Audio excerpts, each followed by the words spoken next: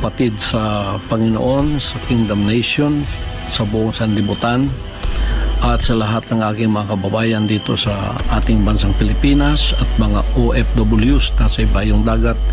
Magandang araw po sa inyong lahat.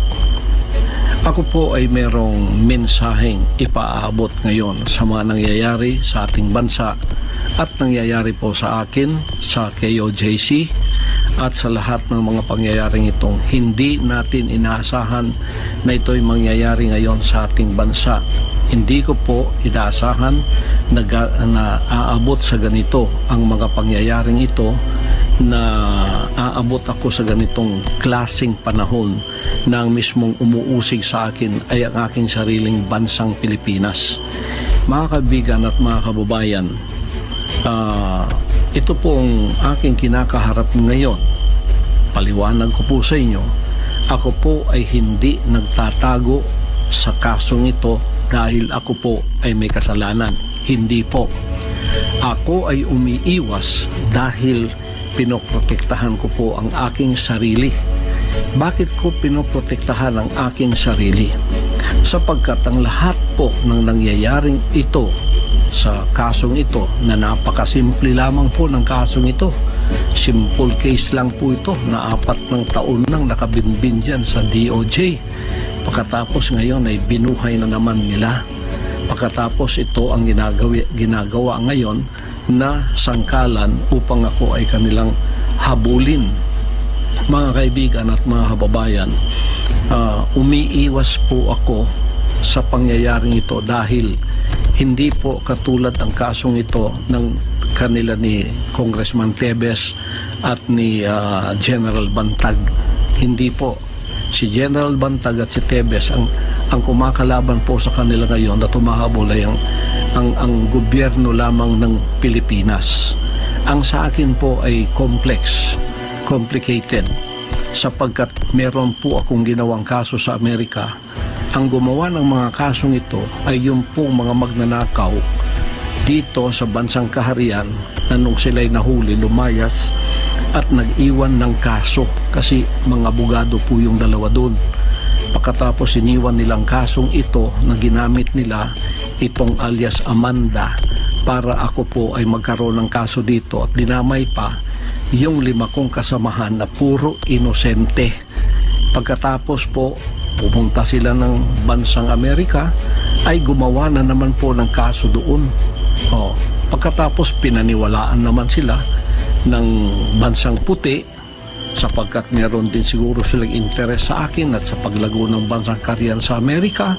Kaya nagkasundot, nagkasabwat sila. Kaya nagkaroon po kami ng kaso sa Amerika. Hindi po namin gawa yun. Gawa po nila yun. Pagkatapos nito hinarap po namin ang kasong yun sa Amerika. 43 counts, kumuha kami ng 22 abogado doon at tinarap ang kasong yon na meron na pong sagot ang lahat ng kanilang mga inakusa sa amin. Naghihintay na lang kami ng panahon kung kailan yun uh, ang trial mangyayari. Uh, at tagtatatlong taon na nilang pinopostpone. At least ngayon po November 5 matutuloy na. Kaya sila po ay wala ng ingay doon sa Amerika sapagkat ito ay naharap na po ng aking mga abogado. Ngayon, naging complicated po ang aking sitwasyon dito sa bansang Pilipinas mulang nanalo uh, si Bongbong Marcos at uh, naging presidente siya. Nang pumunta siya ng bansang Amerika, nagbago na po ang ihip ng hangin kasi nung bumalik siya rito, kaibigan na niya ang bansang puting Amerika kaibigan na po niya ang, uh, ang bansang ito at inopen na niyang Pilipinas. Kaya nagkaroon tayo ng mga Amerikanong marami dito. Nandiyan na yung EDCA at uh, hindi lamang po yun na naging open. Pati po ako ang kaso ko ay naging complicated dahil isinama na po sa sitwasyon na ang mga puting yan ay naririto at ako po ay uh, uh, hiningi na nila sa kamay ng rehimeng Marcos. Kaya noong December uh, 21 o 22, nagkasundo na po yung dalawang yan. Ang rehimeng Marcos, si Marcos mismo, at ang uh, at ang ah, FBI at CIA nagkasundo na po na ako'y ibigay sa kanilang kamay. Ibigay ni Marcos ako sa kamay ng mga puti. At mula noon, under surveillance na po ako dito sa aking sariling bansa. Diyan sa aking mga compound, meron ng mga drones, araw-araw at gabi. Gawa po ng mga puti yun. O, pagkatapos po, eh, naghanda kami kasi ayaw po nila ang tinatawag na ah, extradition kasi may extradition treaty tayo yun ang legal na paraan para ako ay humarap sa kaso doon sa Amerika using my constitutional rights ayaw nilang dumaan doon sa prosesong yon na legal sapagkat magiging matagal daw ngayon, mga kaibigan at mga kababayan, bakit po ako ay under surveillance ng mga puti? Kasi ang gusto po nila ay rendition, yung extraordinary rendition, maaring kidnapping at maari pong assassination.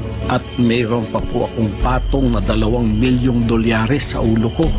Ibig sabihin, 110 milyon pesos ang ah, reward ah, o ang award noong pwedeng humuli sa akin o kaya pwedeng ah, gamitin para ako ay mapasakamay nila ng mga puting ito. Kaya naging complicated po ang kasong yan sapagkat nung nalaman naming extraordinary rendition ng kanilang gagawin na lulusubin kami na illegal sa aming mga compound, nakita po ninyo naghanda na kami araw at gabi ay meron po kaming paghahandang ginagawa na anumang anumang oras na kami lusubin illegally kami po ay tatayo sa aming mga paa tatayo at ipagtatanggol namin ang aming sarili at ang aming mga propriedad na gusto nilang lusubin at gusto nilang ah, by force papasok po sila upang gumawa ng extraordinary rendition. Yan po ay pinatotohanan noong February nung dumating yung apat kong abogado dito at sinabing ganun nga ang ah, ang kasunduan nitong rehimeng Marcos at ah, ng mga puting ito na FBI o kaya CIA kaya po kami naghanda sa compound namin sa Tamayong, compound sa Davao, compound kahit saan. May mga drones po. Drones yon ng mga puti na nagsusurveillance sa amin. Nung nakita nilang kami handang-handa para harapin sila sa mga illegal na gagawin nila araw man o gabi, ang ginawa po mga kaibigan, pumasok itong ah, playbook nila na noong pang November ay sinabi na ni Maharlika at ng ating VP na tatrabahuin nila ako. Tatrabahuin nila ang kingdom at tatrabahuin nila ang SMNI. Kukuhanan, kukuhanin ng prangkisa. At yung mga workers ko, active man o hindi, bibilhin po nila at gagawa sila ng mga kaso laban sa akin na puro kasinungalingan. Diyan na po pumasok ang Kongreso at ang Senado. Kongreso po walang dahilan. Pinatatawag pagkatapos ang kanilang playbook ginawa na na kuhaan, kukunin o kaya iligwak ang prangkisa ng SMNI. Lahat po ng pangyayari doon, puro murmuron lang po yun. Pagkatapos ako, pilit nila akong ah, pinaaten kahit nakita nila sa mga dokumento na hindi po ako kasali na sa mga opisyal ng SMNI. Pero pinipilit pa rin nilang ako ay ah, pumunta doon. Bakit? Yun po ay patibong sapagkat pag anytime pumunta ka doon, siguradong ang end game ay pupunta ka sa kamay ng mga puti. Extraordinary rendition pa rin. Eh sa sarili ko ang lugar, gusto nila akong pasukin. Lalo na kung pupunta na ako doon. Oh, iko-contem ka pagkatapos dadalhin ka doon sa kanilang sa kanilang ah, ah, presuhan pagkatapos naghihintay na roon ng mga puti para ibigay ka sa kanilang kamay. Ganon din po diyan sa Senado. Bakit gumawa ng senaryo yan si Risa Contiveros? Nagbayad sila ng mga bayarang mga former worker ng mga sinungaling na mga witnesses. Oh, nakita na po yan at ah, nadamay sa kasinungalingan si BP Sara at ang ating ah, Pangulong Duterte na puro kasinungalingan ang pinagsasabi nila. Pinipilit ako ni Risa Contiveros na umaten sa moro-moro at bogus na mga hearing na yon. Oh, bakit po? Isa ring patibong yon mga kaibigan at mga kababayan. Pagka ako'y umatin doon, siguradong ang endgame po ay babagsak ako sa kamay ng mga puti. Extraordinary rendition pa rin. Nung hindi po nila magawa yun, kahit may mga warrant of arrest na sila, sapagkat hindi ako muaten sa kanilang mga hearing, kasi pinoprotektahan ko yung sarili ko, kasi alam ko ng lahat ng ito ay patibong lamang upang ang endgame ay magawa nga nila na ako ay i- ilagay sa kamay ng mga puti sapagkat ang ating pong gobyerno at ang gobyerno ng mga puting ito ay nagkasabwatan na nga hawak na nga sa liig ang ating ah, gobyerno rito kaya itong mga operatibang ito ay ginagamit na lamang whether they know it or not sapagkat ginagamit na nilang batas laban sa akin upang ako ay kanilang mahuli, upang ako ay kanilang ah, madampot at ibigay na sa kamay ng mga puti. Yun po ang endgame dyan. Extraordinary rendition pa rin yan. Yung sinasabi nilang wala akong wala akong ah, whole departure order. Pagkatapos sasabihin nilang maging matugo kung sila ipapasok dito sa aking compound. Yun po yung mga patibong din. Ang ibig nilang sabihin, umalis ka dyan kasi magiging madugo. Lalo pa kung hindi aalis. Kasi ako'y tatayo sa mga illegal na activities na gagawin nila ng paglusob. Sabi nila, wala na ka namang ah, whole departure order. Ang ibig sabihin, pwede kang lumabas ng bansa. Patibong din po yun. Sapagkat sa immigration pa, doon ka na huhulihin at ilalagay ka sa kamay pa rin ng mga puti. Yan po ang endgame dyan. Endgame dyan. Nangingialam po ang bansang ito. Ang bansang puti ang nangingialam sapagkat naging kasabuat na ng ating pamahalaan ngayon dito sa ating bansa. Kaya ang nasa likod po ng lahat ng ito ay ang mga puti. Ang mga drones na yan, surveillance na yan, CIA po yan, mga FBI po lahat yan.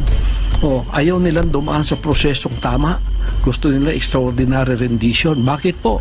Sapagkat yan ay maaring kidnapping, maaring asaso- asa- assassination, sapagkat pagka ako'y napunta sa kanilang kamay, sabi pa ng isang kaibigan ko sa Amerika dito, huwag mong asahan na ikaw ay babalik pa mababalita na lang namin na ikaw ay namatay sa pamamagitan ng natural causes na tulad ng heart attack. Ganyan ang mangyayari sa iyo.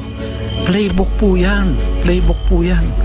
Yan po ay playbook ng CIA at ng FBI na nasa likod ng lahat ng ito. Puti po ang nasa likod ng lahat ng itong nangyayari sa akin ngayon. Kaya naging complicated kasi naging kaibigan nila at naging kasabwat ang rehimeng Marcos, ang administrasyong Marcos at sila mismo, si Marcos mismo ang uh, pinagkanulo ako at sa kamay ng mga puti na gagawin na nilang gusto nilang gawin sa akin sapagkat uh, uh, ayaw nila yung kaso doon sa Amerika na mapapahiya siguro sila. Ganito po ang mga senaryo ngayon na nangyayari ngayon sa ating bansa. Nung hindi po nangyayari ang lahat ng ito, hindi ako kumagat sa kanilang mga patibong. Anong ginawa nila? Binuhay nila ang kasong sobra tatlong taon nang nandyan sa sa DOJ na mismo si uh, si Secretary Remulla noong nanalo na si Bongbong Marcos at hindi pa pumunta ng Amerika, sinabi niya, very dismissible itong kaso na ito. Dismiss na ba natin, Pasto? Sabi niya, wag muna kasi para merong kat katuwiran ka na uh, uh, para sa uh, extradition na meron kapang kaso dito. Dismissible po yan. Kaya binangon yan. Ngayon, ginawa pang complicated. Hinati po. Isang kaso lang po yan, hinati. Ang kalahati dito sa Davao, ang kalahati dyan sa Pasig. Ito ay panggigipit at pagpapahirap. Tinan po ninyo, noong implement nila yung warrant of arrest, dito po sa kasong itong pinuhay nila, dismiss na po yan. Oh, mag-apat na taon nang na-dismiss yan. Dapat nga wala ng prosecution, ay wala ng kaso yan eh. Dapat binasura na yan kasi fail to prosecute yan eh. Failure for, to prosecute. Kailangan ibasura na yan ayon sa batas. Pero binuhay. Pagkatapos nag-announce na si SOJ Remulla na ito ang mangyayari. So ito dito de sa uh, Davao available, ang dito naman sa Pasig hindi natin alam kung ano, pero merong kalahati ng kasong ito nandyan sa Pasig ngayon. Ngayon, because we are law abiding, nung lumawas ang warrant of arrest na ito, ito pong lima kong kasamahan na puro mga inosente, dinamay noong mga dissidents na lumabas dito yung mga magnanakaw sa kaban ng bansang Karyan patapos lumayas at pinapaniwala itong mga puting ito na gumawa rin ng kaso sa Amerika ay ah, ganito po ang nangyari. Oh, kayon, iniwan nila yan dito. Simpleng kaso lang po yan. Napakasimple. Kung wala po ah, nangingialam ang bansang puti, Haharapin ko po lahat yan. Napakasimple po ng mga kasong yan. Napakasimple po niyan. Kaya lahat ng pang, na ginagawa nila sa Kongreso, sa Senado, puro po yan patibong. O hindi ko alam kung ang 2 million dollars which is 110 million pesos nasa kamay na ng mga atat na atat na ito ah, na ah, na maging award nila kaya atat na atat silang ako ay kanilang madampot, mahuli. O, nakikinig kayo ng PNP, NBI, CIDG. Baka hindi niyo alam ang mga bagay na ito na kayo ay uh, sumusunod lamang at uh, hindi niyo alam ang mga bagay na ito na sinasabi ko. Dapat malaman ninyo na itong kaso kong ito complicated sapagkat dalawang bansa ang nagkasabwat. Bansang puti at bansang Pilipino ang nagsabuatan para ko'y damputin at ang endgame ay extraordinary rendition which may be kidnapping and which may be assassination. At ako ay very inclined ako na assassination talaga ang mangyayari sapagkat para bang iniisip nilang ako ay mayroong kinalaman sa politika dito at ako'y hadlang sa kanilang mga plano na politikal. Ay hindi ko po kasalanan maging kaibigan ko si Pangulong Duterte. Bata pa po kami, magkaibigan na kami. Prosecutor pa lang siya, magkaibigan na kami. Hanggang ngayon, hindi ko po kasalanan yun, hindi rin niya kasalanan yun. Bakit ninyo ginagawang kasalanan para sa amin yan? Hindi ko rin kasalanan naging politiko siya, at hindi ko rin kasalanan na ako ay naging isang ministro ng kingdom at lumago sa buong sanlibutan. Hindi ko rin kasalanan yon. Ngayon, ginagawa ninyong kasalanan sa amin yon, eh problema po ninyo yon. Ngayon, ako po ay hindi nagtatago sa kasong itong napakasimple. Malayo po yun. Kayang-kaya ko pong harapin yan. Eh, kaya ko nga harapin ng, sa Amerika kung dadaan lang sila sa tamang proseso eh o ito pang sa aking sariling bansa.